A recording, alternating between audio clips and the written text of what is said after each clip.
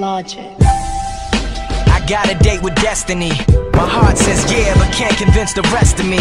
I tried so hard to make it with no recipe. My selfish ways caught up and got the best of me. I need redemption, no need to mention my past. Cause all that matters now is bigger than diamonds and cash. The glitz, the glamour, the lights, the camera, the action,